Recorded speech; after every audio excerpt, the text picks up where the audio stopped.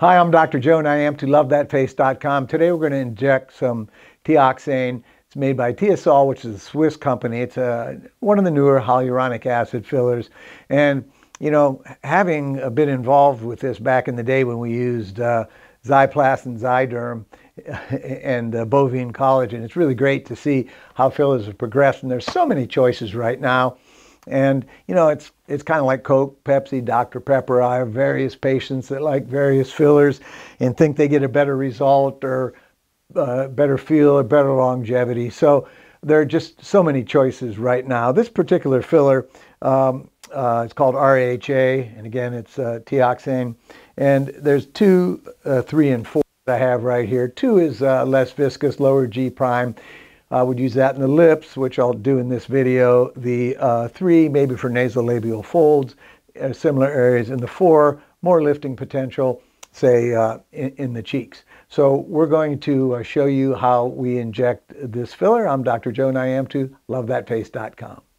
So today we're going to uh, do some lip injections with uh, Teoxane, which is a hyaluronic acid filler made by a Swiss company. It's one of the newer hyaluronic acid fillers. And uh, their, their products are called RHA, and they have different numbers, two, three, four.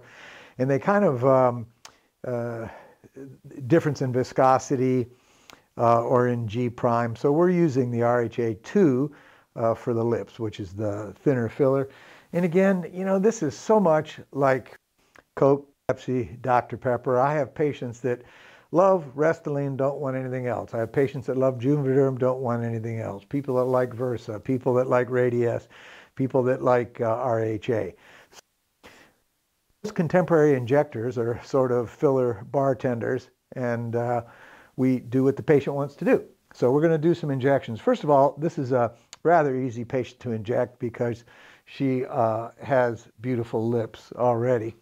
And we're going to start in the center of the upper lip our target is going to be the wet dry line and we're going to the needle's half, one half inch so we're going to insert that in the center of the lip and then I like to palpate as I inject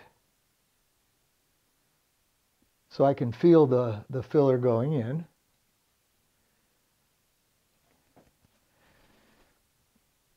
And we want to stay a half inch away from our target so we minimize our needle sticks. And right now it's going to look a little lumpy and bumpy until we massage it.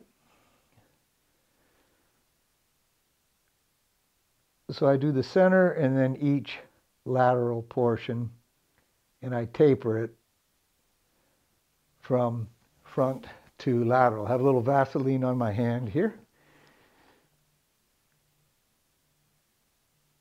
And we are going to we've done our upper lip. And by the way I want to mention that we're using uh, lidocaine tetracaine uh, mixture uh, in 23% uh, lidocaine 7% tetracaine and a plasticized base. And um, this has been uh, very useful because we used to inject all of our patients and we this is a pretty potent topical and we don't have to. All right so we're going to do the lower and again, open your mouth a little bit. We're going to go to the wet dry line. We're going to insert our needle. We're going to take advantage of the half inch. We're, our target is right in the very center of the lip, or at least for the treatment that we're doing now. You know, older, older patients may have, let's move your head down just a little bit. O older patients may have they may need smoker's lines. They may need lip outlines. And even younger patients may need philtral column injections. So everybody's different. But this is a great patient to do. This is a great patient to do because they really don't need much. And you can take that last little bit and put it right at the vermilion cutaneous junction and put just a little line there. And that is very uh, aesthetic for feet lip because it makes a, just a nice little ridge there and it doesn't take much filler at all.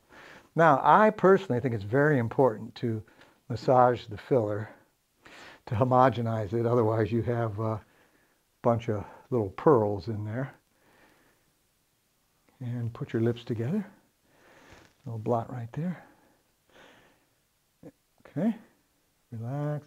So it's a little difficult for the patient because they can't feel their lips even with the uh, topical, but I think that'll be a, a good treatment. Let's turn to the side just a second there.